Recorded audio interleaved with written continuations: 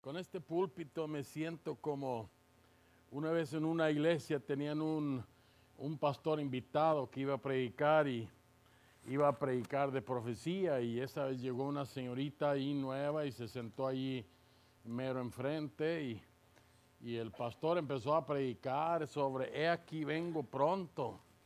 Y decía, y he aquí vengo pronto. Y se estaba emocionando, y aquí vengo pronto. Y, y así siguió y de repente se reclinó de más y se fue con todo y púlpito sobre la señorita. Y le dice, ay señorita, disculpe, perdón. No, no, dice, ¿por qué? Si ya me había dicho varias veces que venía.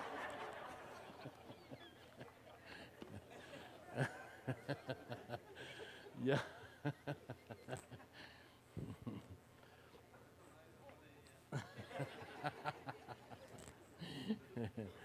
Muchas, muchas gracias por este honor, este gran, gran, gran privilegio que me, me, conceden aquí. Gracias al pastor por la invitación. Gracias a todos por su, por su buena disposición, por su tolerancia. Ustedes sí son, que son buenos cristianos. Entonces, gracias, gracias. Nomás le pido, como siempre, un favor.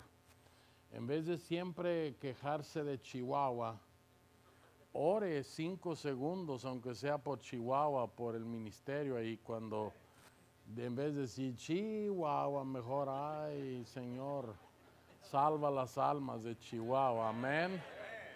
Es una promesa que no se va a cumplir. Muy bien. Ni aunque la firmen tarjetita. Muy bien, yo les invito a ir a 1 Samuel capítulo 1. Primer libro de Samuel capítulo 1. Y quiero ver aquí un poco sobre Ana. Sabe, Ana es un gran ejemplo en muchas formas, de muchas enseñanzas. Ana, aquella la mamá de aquel gran Samuel. Y probablemente Samuel era uno de esos hombres que que tenía todos los oficios, pero gracias a que hubo una mujer, Ana, eh, siempre me llama más la atención cuando son mujeres que tienen que hacer la obra de Dios con el esposo, sin él o a pesar de él. Entonces Ana fue uno de esos. Usted sabe que Samuel quiere decir el pedido de Dios y aquí tenemos nosotros este ejemplo de Ana. Sabe, en México y probablemente en muchas partes, siempre busca uno excusas para no hacer lo que Dios quiere.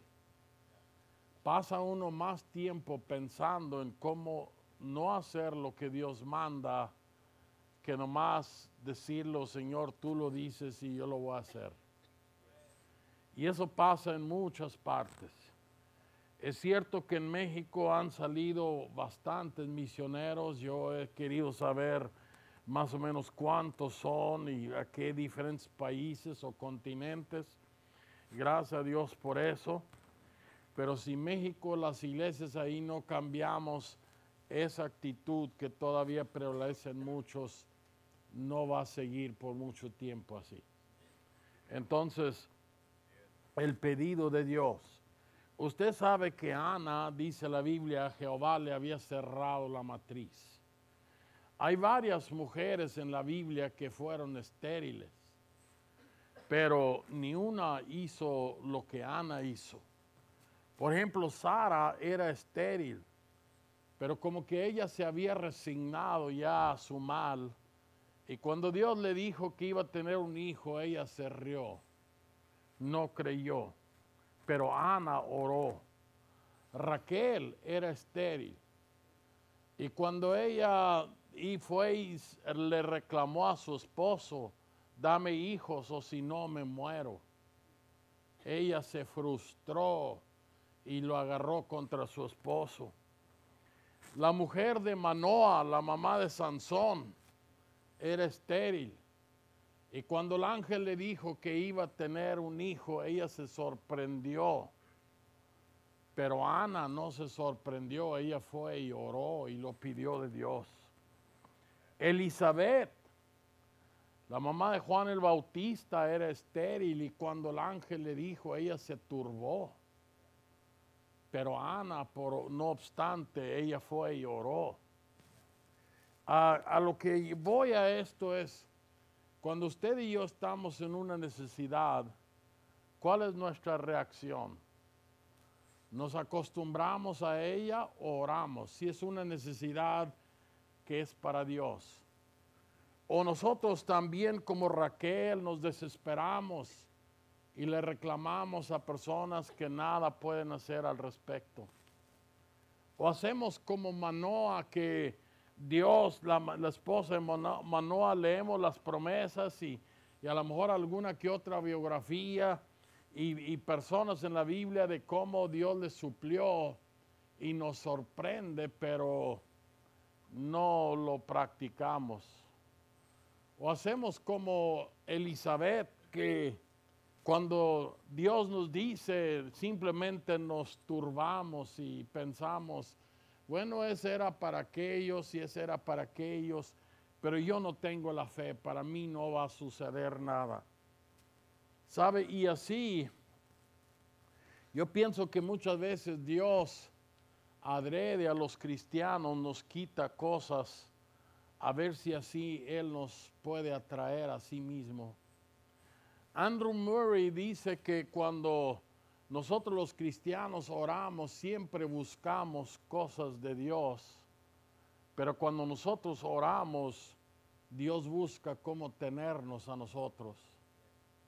Y cuando nosotros oramos, Dios como que quiere meter la mano en nuestro corazón, doblegar nuestra voluntad y que nos rindamos y seamos por completos de Él y para Él que ya no salgamos, los levantemos de la oración y seamos igual que siempre. Que allí haya habido un cambio. Que ahí Dios haya cambiado nuestros planes. Si no hacíamos lo que Dios quiere ahí de la oración, debemos levantarnos dispuestos y determinados a hacer lo que Dios quiere. Aunque a nosotros nos parezca imposible. A veces es más, más fácil decir yo no puedo, mi iglesia no puede, mi familia no puede, en vez de orar y decir, Señor, tú lo puedes hacer posible, tú lo has mandado y tú lo puedes hacer posible. Entonces Ana aquí oró. En los primeros ocho versículos de este capítulo, encontramos que había dos mujeres, las dos tenían el mismo esposo, el Cana. Y fíjese lo extraño es que a Penina no le interesaba nada hacer nada para Dios y tenía hijos y sin embargo Ana quería hacer algo para Dios y no los tenía, ni los podía tener humanamente hablando. Pero sabe, Ana podría haber puesto muchas excusas. Podía simplemente haber dicho, Dios, yo te daría un hijo, pero tú me has cerrado la matriz, así es que ni esperanza hay. Podría haberle echado la culpa a su esposo adúltero porque tenía dos esposas. Podía haberle echado la culpa a Elí porque Elí, el sumo sacerdote, ese tiempo sus hijos andaban en grave pecado, podía haber echado la culpa a eso. Simplemente no se puede. Como tantas cosas que usted y yo no, le echamos la culpa cuando se trata de ir o de ofrendar, encontramos muchas cosas a quien echar la culpa. Pero sabe, mientras buscamos a quien culpar, vamos a encontrar pero nunca vamos a hacer nada para Dios. Así es que Ana no tenía el hijo que ella, que otras sí tenían. A veces hasta le decimos, Señor, si yo ganara como aquella persona, o si yo así tuviera como esta otra, o si yo como aquella otra. Y siempre encontramos personas que si tuviéramos lo que ellos tienen, sí daríamos, pero como no tenemos, entonces al parecer nosotros mismos nos excusamos de no dar. Pero sabe, un día estaremos ante el tribunal de Cristo. Y si Dios a usted le dijo que no diera, entonces ahí va a estar bien. Pero si Dios nos dijo y nosotros no, no hicimos, entonces ahí va a haber problemas. No vamos a perder la salvación, por supuesto. Pero ahí encontraremos aquel que no dirá cuando da cuenta de ti mismo, no se basará tanto en nuestras palabras, sino Él ve dentro de nosotros nuestra actitud, nuestra disposición, nuestro espíritu. ¿Por qué razón reales? Y ahí tendremos que confesar la verdad, no la que siempre estábamos impuestos a decir aquí. Ahí tendrá que ser lo que realmente es. Y allí se imagina que yo quiera decir, o usted quiera decir, Señor, mira, yo en la tierra realmente era muy pobre. De dinero yo apenas sobrevivía. Y Dios ahí me muestra la verdadera intención dentro de mí. Y no, no, párale, ya no estés diciendo, di lo que realmente era. Pero Señor, no, mira, ahí está en pantalla pública por decir, ahí está la verdadera razón por la que nunca lo hiciste. Hermanos, va a ser, va a ser muy diferente a como nosotros a veces nos imaginamos. Entonces, Ana aquí, la razón de la necesidad de Ana tampoco era por pecado personal, ni era siquiera por, por apatía, ni era, ni era por mala administración. Ella, ella dijo, ella le dice la Biblia, Jehová le cerró la matriz. Cuando nosotros no damos o no vamos, muchas veces es apatía o es pecado personal o es simplemente porque nos hemos acostumbrado tanto a nuestra vida material y mire, yo a veces me pongo a analizar a mí mismo. Si Dios un día me dijera, mira, vete de allí donde ya estás muy cómodo, deja todo y vete a otra parte, ¿qué haría yo? Y ir a una parte donde no hay nada. ¿Sabe? El, el director del instituto donde su servidor y mi esposa estuvimos ahí en Torreón, un día nos dijo que y él en ese tiempo tenía la iglesia más grande de México en ese tiempo. Y el Instituto Bautista también más grande en ese tiempo. Y un día nos dijo que Dios lo había tocado para que él dejara todo y se fuera a otra parte. Dijo, yo le decía a Dios, pues nomás déjame tantito tiempo que yo tenga a alguien a quien dejar aquí, porque relativamente la iglesia era joven y eh, tenía como mil en asistencia los domingos. Y, déjame poquito, y, mira, nomás pongo a alguien en el instituto a cargado y me voy. No, vete, vete. Y él nos lo dijo en una clase. Dice, fue tanta la lucha con el Dios que un día simplemente me rendí a Dios y dije, está bien, aquí estoy a donde tú quieras. Y luego nos dice, bien tranquilo, dice, una vez que me rendí, Dios dijo, ahora te puedes quedar. Dice, lo único que Dios estaba viendo, a ver si yo todavía estaba rendido a Él. Y lo cual no estaba, porque cuánto no lo discutió. Y nosotros a veces pensamos que esto y lo otro, que estamos rendidos y cuando a veces no es cierto, porque estamos muy acostumbrados. Ahora, versículo 9 en adelante, vamos a ver, cuando Ana no tenía el hijo que necesitaba, pero Ana quería, a pesar de todo, tener un hijo para rendírselo a Dios y ni siquiera dijo un hijo que me haga compañía cuando mi esposo anda con la otra. Y que yo no esté tan sola o que me ayude en mi vejez. Ella le pidió un hijo a Dios con una sola razón, dárselo a Dios. Esa sola, no le importó sus propias necesidades. Ana pidió el hijo que tenía. Hace muchos años estaba predicando una vez en San Antonio y en las mañanas había clases para pastores y misioneros y había un pastor local allí que nos daba clases. Y en esa mañana, y nunca se me ha olvidado eso, dice, ustedes necesitan, los misioneros dicen, necesitan una sola cosa para poder ir al campo misionero. Y yo empecé a repasar cómo que una, pues a través de los años, ah, que necesitas esto y esto y esto y esto y esto y esto. Y él volvió a decir, necesitas una sola cosa para poderte ir. Y yo, pues, ¿qué? ¿Necesitas aprender a volar o, o caminar en el viento? ¿Qué cosa mágica necesitas?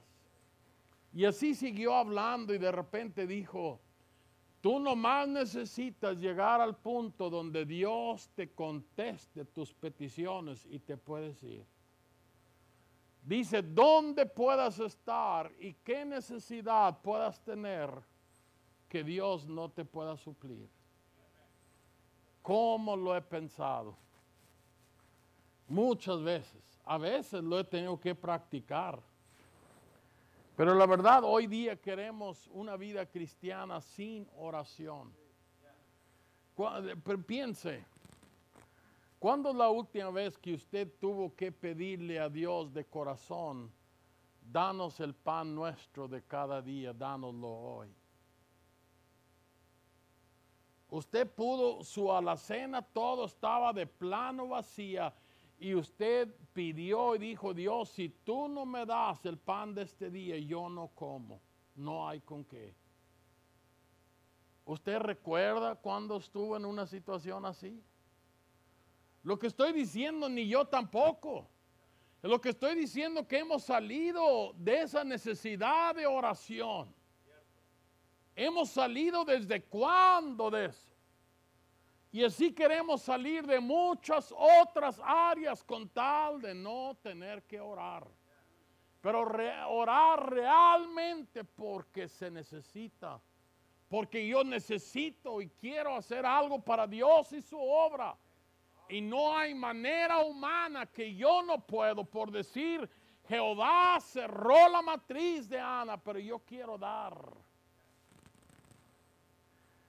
Y aquí, versículos 9 al 18, Ana pidió el hijo que no tenía. Lo pidió. Ana no era de aquellas mujeres que se conformaban nomás con decir no puedo y no tengo y no sé. Ana dijo, yo necesito, yo quiero, yo debo, yo lo voy a hacer y ni modo de ir a buscar la ciencia o lo que sea. Ahí no nadie tenía remedio para ella más que Dios mismo. Y nosotros buscamos el remedio, no tenemos y vamos al banco y vamos con aquel hermano que pensamos que nos puede prestar y vamos quién sabe a cuántas partes con tal de no acudir a Dios. Cuando de plano no hay otra manera, entonces, ay Señor, ¿por qué no antes? Ana pidió el hijo que no tenía. Versículos 9 y 12, 9 y 10 dice allí, y levantóse Ana después que hubo comido y bebido en Silo, mientras el sacerdote Elí estaba sentado en una silla junto a un pilar del templo de Jehová. Y ella con amargura de alma oró a Jehová y lloró abundantemente. Aquí vemos nosotros la debilidad de la petición de Ana. Había varias, varias cosas que hacían la, la oración de Ana muy débil. Pero sin embargo, ella, en primer lugar, ella estaba sola en esta petición. No tuvo una iglesia que la apoyara. No tuvo nadie que juntar y que oraran por su necesidad. Ella estaba sola. en una necesidad grande, una necesidad apremiante, una necesidad que pesaba dentro de ella y la hacía llorar al grado que ella ni siquiera comía. Por esta necesidad yo quiero un hijo para dárselo a Dios y su obra. Y sola en eso. Qué bendición cuando puede usted hablar por teléfono. Oren por mí o ir a pedir, oren por mí, oren conmigo. O en, en tiempo de oración de la iglesia, Ana no tenía nada.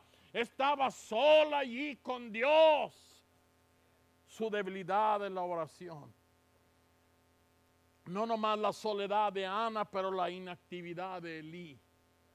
Ni siquiera con Elí pudo asistir. Supuestamente el maestro allí en, el templo, quien debería de enseñarle. Y no solamente no pudo ir, eh, Elí, por favor, ore conmigo, ore por mí. Ella se fue a orar y todavía en lugar de ir a decir, ¿qué te pasa? Fue y la juzgó de borracha. La inactividad de Elí. Pero todos esos obstáculos, Ana nunca se dio por vencida. Yo necesito un hijo. Yo quiero un hijo. Hermano, por cierto, usted ya le está pidiendo cuánto quiere que Dios, que, que, que Dios quiere que usted dé para misiones el domingo en su promesa. Oh, a las casillas vamos y votamos.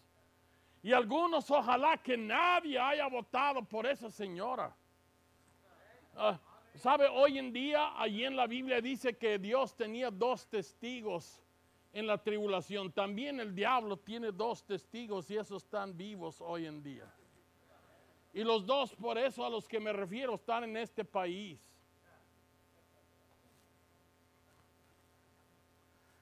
Hermano, necesitamos orar. Ahí vamos a donde sea, votamos. Sin embargo, cuando se trata de votar aquí, en la promesa de fe, hay muchos que dudan. Cuando votaríamos sin faltar por los políticos, sin embargo, dudamos en votar a favor de hacer la obra de Dios por el mundo. No era esa la situación de Ana. Ana fue al templo y ahí obtuvo lo que necesitaba. Nada que no tengo, que no puedo. Mira cuánta maldad, mira el pecado.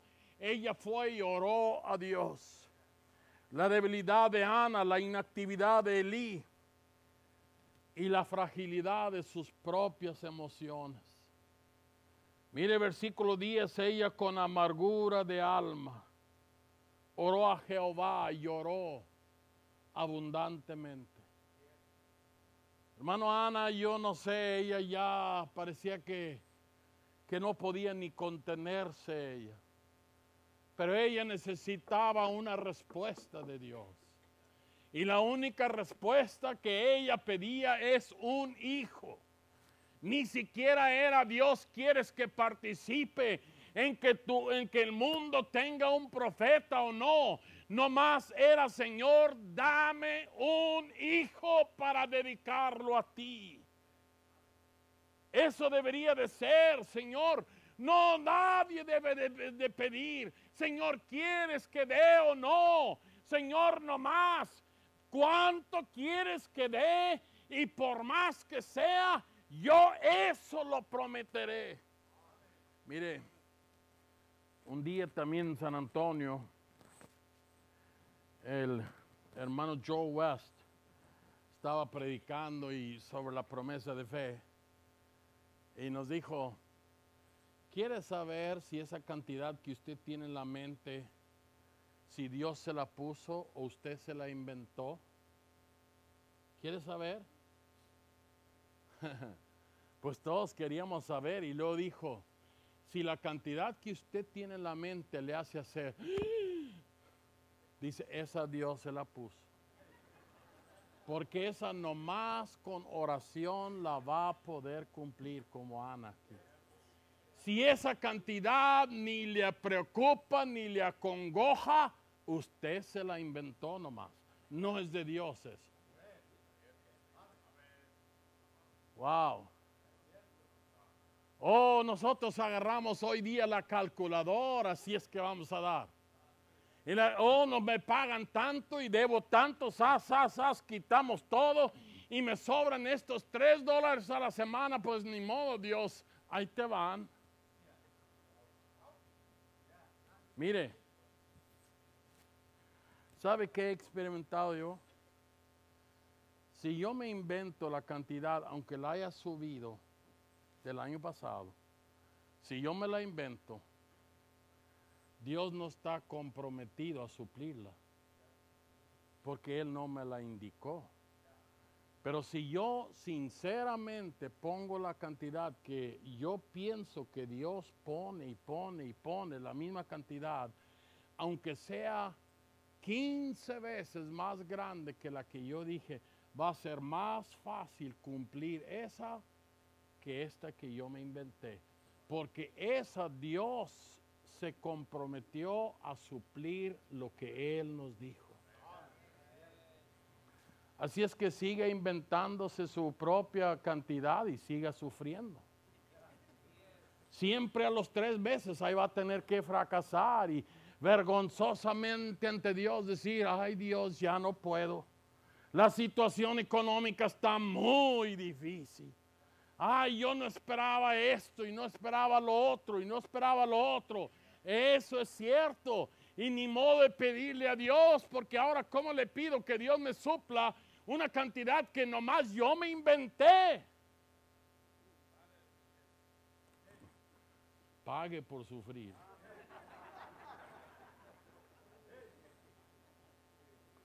Al cabo aquí en el valle hay un predicador que hizo andar a un hombre. ¿Sí saben eso? Porque le quitó el carro.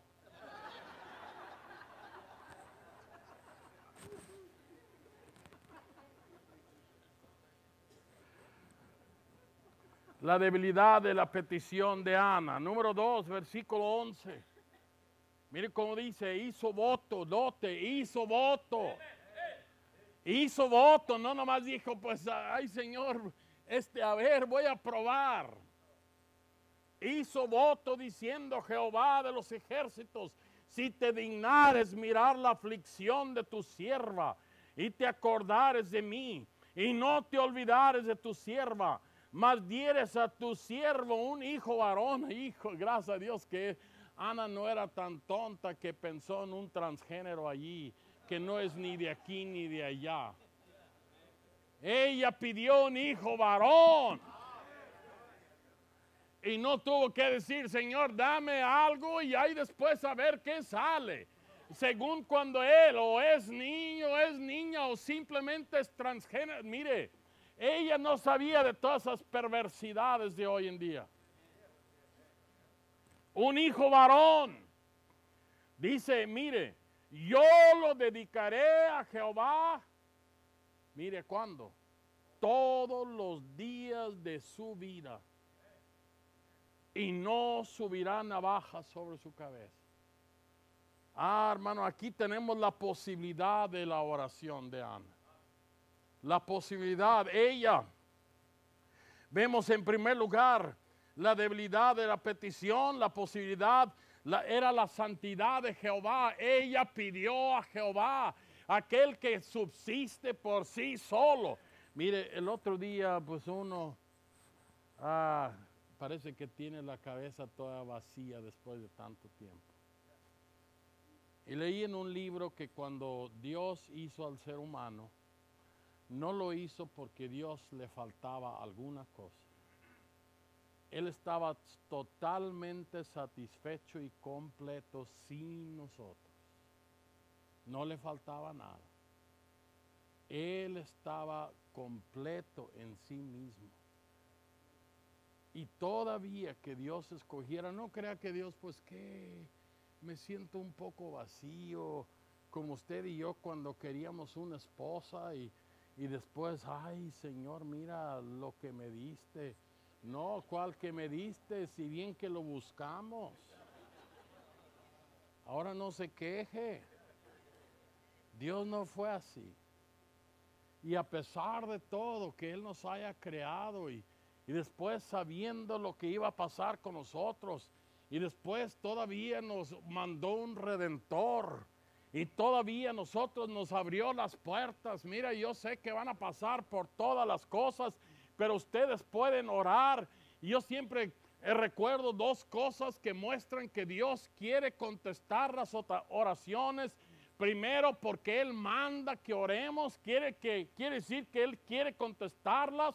Y segundo, porque Él promete contestarlas. Hermano, necesitamos orar.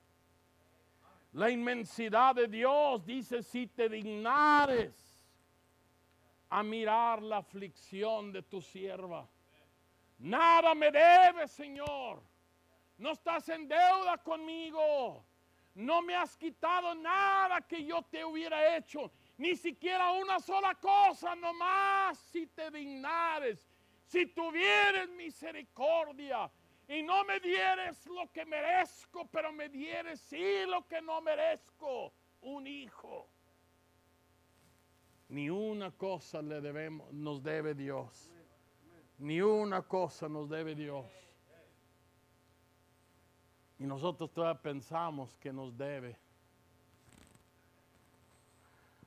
La bondad del Señor, más dieres, no te no la palabra dieres. Ella sabía y estaba pidiendo un regalo. Un regalo. Dieres. Un hijo varón. Ana no creía en toda esa basura de la actualidad. Y la integridad de Ana, yo lo dedicaré a ti todos los días de su vida. Mire, esa es Ana yo lo dedicaré. No estamos como muchos cristianos. En nuestra iglesia hay cristianos que llenan la tarjeta y luego al mes, dos meses, tres meses, ya no, ya no siguen dando. Les digo, tenía más agallas Ana. Y ustedes creen, dice, que ustedes son los muy machos y que necesitan ustedes mandar en su familia cuando sus esposos cumplen mejor que ustedes los hombres. Dice, yo lo dedicaré sin ninguna duda, sin ninguna posibilidad de, no, de dejar de darlo. Yo lo dedicaré. Un voto a Jehová. Yo les he platicado a mi papá, mis papás no eran cristianos con nosotros crecimos. Pero papá sí era. Cuando él daba su palabra, yo nunca recuerdo que papá una vez se echara para atrás. No recuerdo, y no era cristiano. Como dice el Salmo, el Salmo 15, aquel que habiendo jurado en daño suyo, no por eso se cambia. Ahora aunque pierdas, pero cumples. Ahora aunque te duela, pero cumples. Ahora pase lo que pase, pero cumples. Ahora que la iglesia se quede sin luz, pero cumples. Ahora que no haya gasolina, pero cumples. Aunque se caiga el templo, pero cumples. Aunque no haya camión para recoger, pero cumples. Aquel que habiendo jurado en daño suyo, no por eso se cambia. Ser como Ana, a mí no me van a cambiar yo aquí prometo ante Dios, antes de tener al Hijo, si tú me lo das, yo lo dedicaré a ti todos los días de tu vida. Y mire, allí no había ni una tilde de duda, ni una tilde de que ella pudiera un día no cumplir, pasara lo que pasara, pero ella iba a cumplir en dar su hijo. Ella lo estableció con Dios en oración allí en el templo.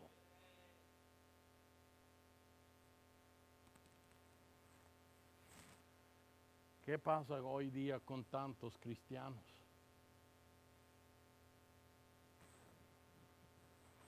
Mis papás por, ser, por no ser cristianos, ellos se peleaban mucho, se gritaban, se decían. Nunca vi que ni uno de los dos le pegara al otro. Ni vi que lo hicieran, ni vi nunca ni una seña de que se hubiera hecho en secreto. Pero jamás, jamás hubo una, siquiera una pizca de duda de que papá y mamá se pudieran separar o divorciar. Jamás ni lo vimos ni lo oímos. Eso lo oí hasta que fui salvo entre los cristianos, esas espantosas y horribles palabras.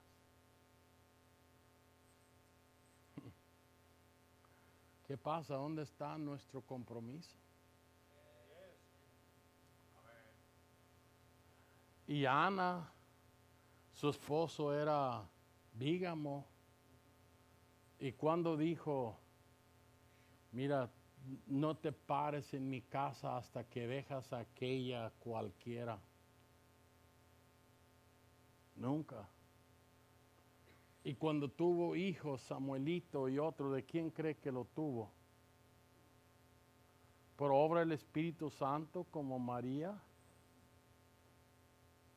Y nunca le dijo, mira Samuel, si tú no dejas aquella, ni te pares por esta casa.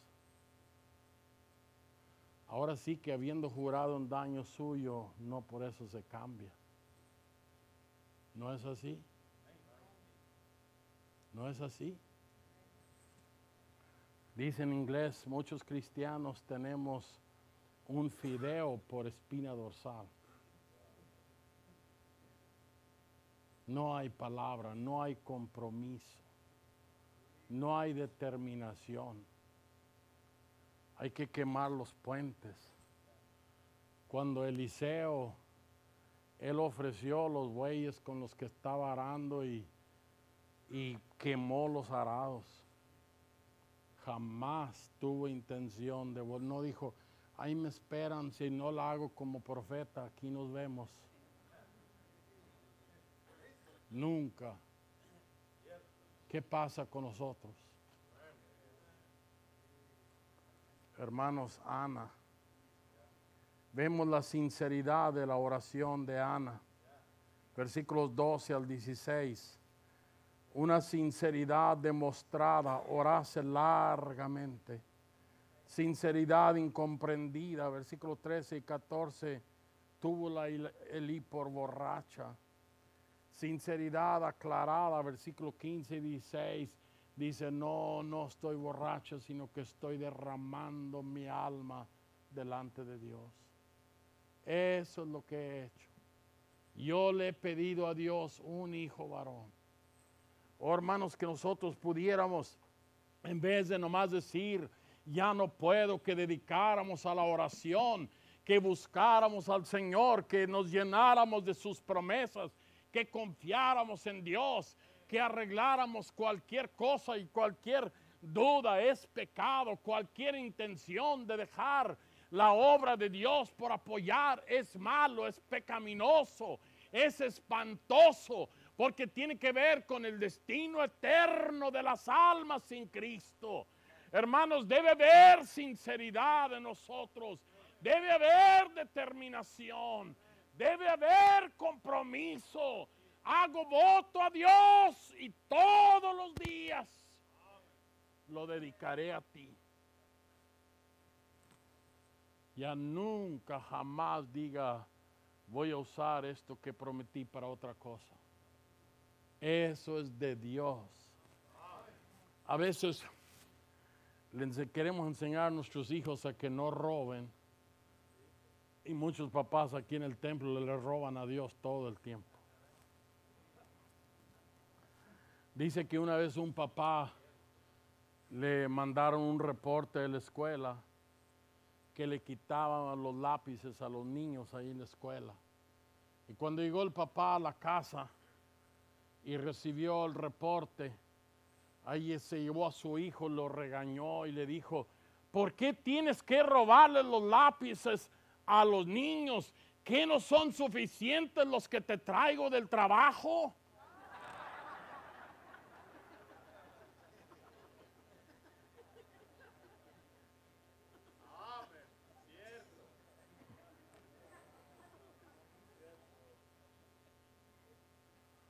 Ah, hermanos.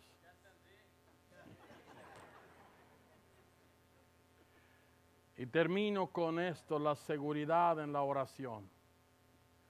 Primero la debilidad, segundo vimos la posibilidad, tercero la sinceridad y ahora la seguridad en la oración. Versículo 17 y 18. Dice, y Elí respondió y dijo, ve en paz. Y el Dios de Israel te otorgue la petición que le has hecho. Y ella dijo, halle tu sierva gracia delante de tus ojos.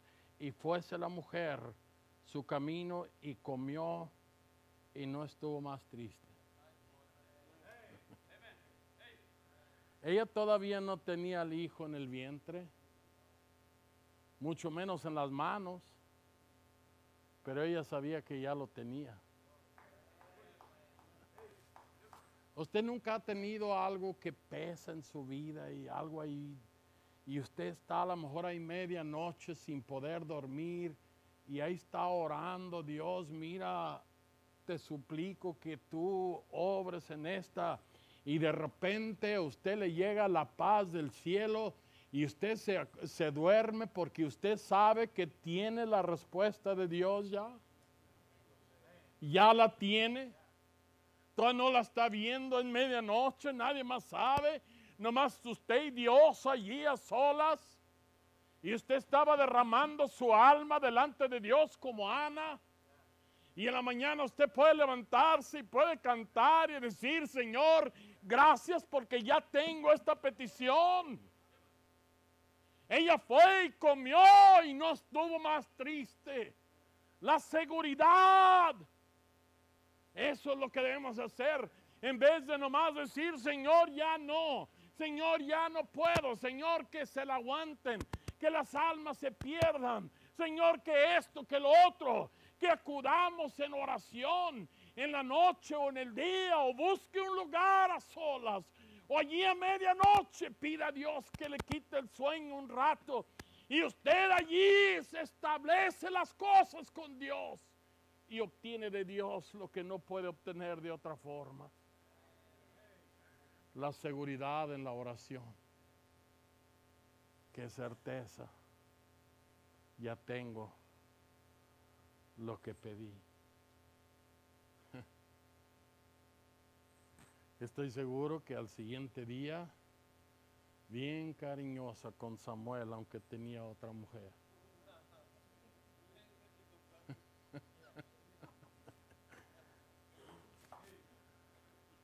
¿Qué tal si hubiera tenido ahí rencores y reproches para esto y para lo otro? Nada de eso. Pero Dios le contestó. Dios le contestó.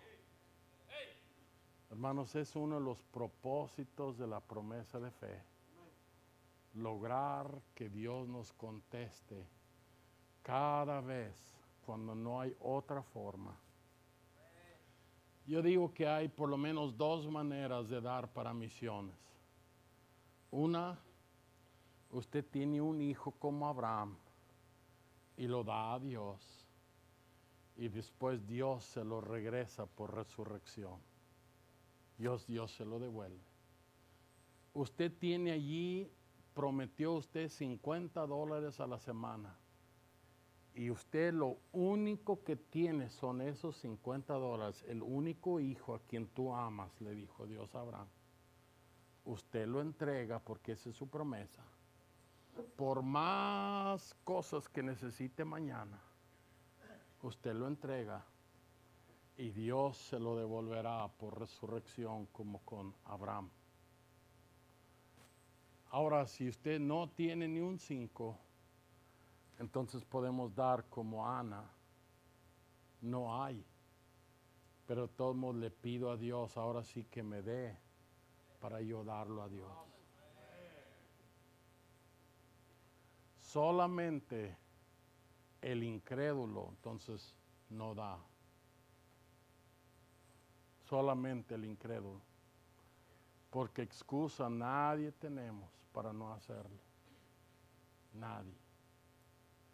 Podemos dar como Abraham o podemos dar como Ana.